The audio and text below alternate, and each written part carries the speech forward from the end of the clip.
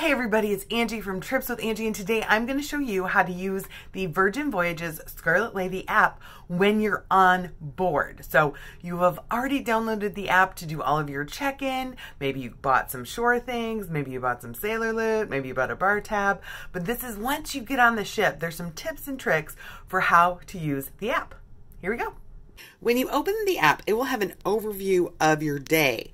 Now, it is very helpful if you go ahead and click on the Seafaring Guide because this will have interesting information and kind of a summary of what to expect on your day at sea. Then also, if you go back, you can there's further information. So for instance if you're headed to port here will be information about your port about how to get off the ship about the times you want to go all of that good stuff. So for instance here this is information about when we're disembarking in Miami about our group about what time about what we need to know. So you definitely want to click on all of the pictures on that initial page because that has a lot of helpful information now going down to the bottom, you have your home page. So that's the page we're on right now. Now you want to go to Discover. Now this is a little different than a lot of other apps. So under Lineup, you're going to find the activities for the day. Um, so for instance, if you wanted to do the self-care workshop.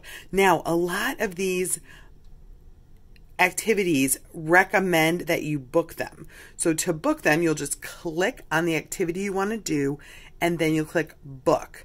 And then that will basically reserve you a spot. Now that spot doesn't last forever. You need to show up at least 15 minutes prior to the event to make sure you get your spot.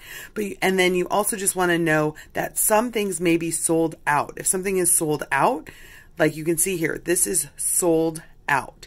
Well, what that means is that it has fully booked so you can apply yourself to a wait list. It also shows if it has an extra charge. Now, if some of the free activities are sold out, then you can go to that venue uh, about half an hour to 45 minutes before it starts and put your name on a virtual queue. So don't despair if it's sold out. You can head to the venue and put your name on the list. Now, if you want to find out more about the restaurants on board, you want to click ship and then this will take you to the eateries then when you click on each individual restaurant, and just know that this app is glitchy, so that's an important thing to know.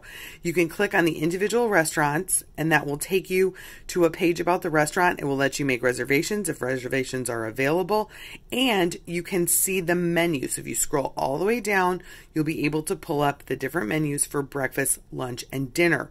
In the bottom, it'll show you the different menus that are available. So wine, cocktails, brunch, dinner.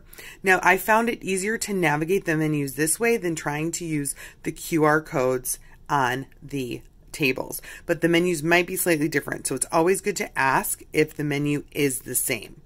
Now, just a reminder, you can only make one reservation per restaurant in the beginning. Um, so you can only have one res restaurant, but you can go and try to do standby at each of the other things. So you can also find the bars and clubs, the live venues, information about the fitness, where the hangouts are going to be. Um, just all of the all of the information about each of the different venues is available here in the ship. The one thing you will not find is a deck plan. So if you want a deck plan, be sure to head to the sailor services right upon boarding and ask them if they have a printed copy. Now, under services, you'll find where to request things for your room, messenger, you can message different people, and then under me, you'll find information about your wallet, your bar tab, and your current booking. So back to the homepage, just one more note about when you look at the different activities, not all of them are going to be in this lineup. So this is not everything that is going to happen on the ship today. It's mostly just the fitness, the fitness activities, and then hold hold close your eyes. I'm going to scroll really fast. I don't want you to get seasick.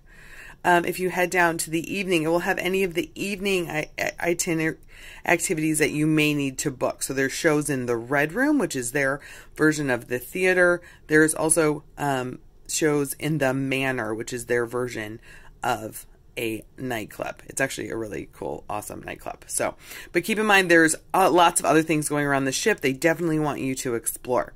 So, hope that helps. Hope you make the most of things. Just remember these final tips. So, your final tips.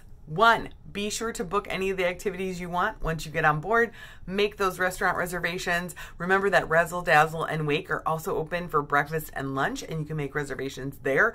Two, all of the activities are not in the app. You're going to have to go and explore, and you're going to have moments every morning where someone's talking about something that happened, and you're like, I had no idea that was going on. So explore the ship, go to lounges. You'll find all kinds of different things happening. It is not like a traditional cruise. That's the whole point. Now, if you're interested in booking a Virgin Voyages, I would love to be your travel agent. Email Angie at tripswithangie.com. Bye.